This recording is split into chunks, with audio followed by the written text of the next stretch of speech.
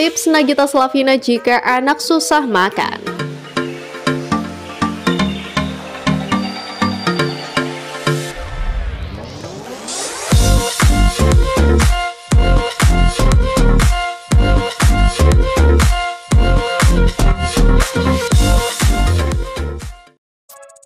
Dikutip dari liputan6.com Jakarta. Nagita Slavina memiliki dua orang anak yang lucu, yaitu Rafathar Malik Ahmad dan Rayansa Malik Ahmad. Keduanya tampak bahagia dan sehat. Wanita yang akrab disapa Gigi itu mengaku ikut bahagia melihat perkembangan kedua buah hatinya.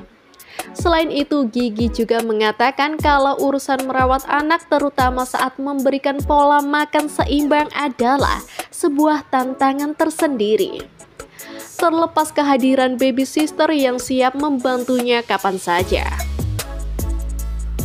Kalau ngomongin tantangan, aku punya dua anak yang satu berusia 7 tahun dan satunya masih bayi. Waktu Rafathar masih bayi, makan apa aja bisa masuk. Tapi saat berusia 7 tahun, dia bisa memilih. Sudah punya preferensinya, karena sudah tahu rasa dan itu sudah jadi banyak maunya, kata wanita kelahiran 17 Februari itu saat hadir di acara konferensi pers semakin dekat dengan generasi Indonesia emas melalui kebaikan isi piringku dan program kampung keluarga berkualitas di Jakarta. Sebagai seorang ibu, Gigi menginginkan agar kedua buah hatinya tumbuh dengan kecukupan gizi seimbang.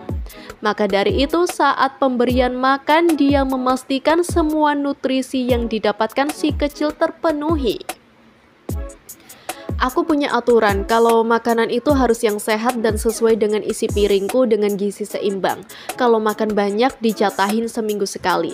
Tantangan lain pasti banyak, tapi yang penting harus dilakukan konsisten, kata Gigi. Selain itu, agar anak-anaknya nggak bosan dengan menu yang itu-itu saja, serta mendapatkan gizi yang seimbang sesuai konsep isi piringku. Istri Raffi Ahmad itu memilih untuk menghidangkan masakan di rumah. Makan bareng keluarga di rumah itu lebih kenyang karena bisa mengatur makanan sendiri. Kita juga bisa makan makanan yang seimbang, katanya.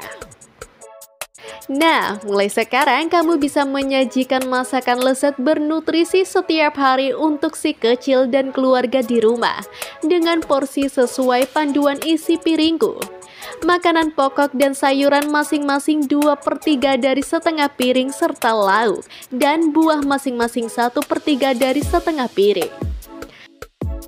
Agar sajian tetap lezat, gunakan bumbu yang memiliki garam beriodium untuk membantu memenuhi 15% kebutuhan iodium harian keluarga dan bantu tumbuh sesuai. Dapatkan update berita pilihan dan breaking news setiap hari dari Alin Official.